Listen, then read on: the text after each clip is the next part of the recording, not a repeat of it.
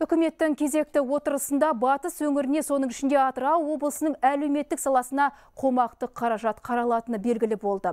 Алдағы 5 жылда мұнайлы өңірде жалпы сомасы 8,9 триллион теңгені құрайтын 185 іс-шара қамтылады деп күтілуде.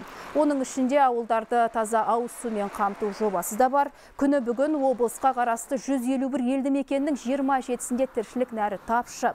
Мысалы, Қызылқоға ауданының орталығы Ниал мен тағы да екі елді мекенге таза ауыз су сағаттап беріледі. Ал шалғайдағы ауылдар суды автокөлікпен тасымалдап ішуге мәжбүр. Осыған орай биыл 13 елді мекенге құбыр тарту жұмыстары басталады. Олардың жобалық сметалық құжаттары дайын. Тиісті қаражат бөлінген. келесі жылға алтауы қаралып отыр. Су жеткіземіз деп.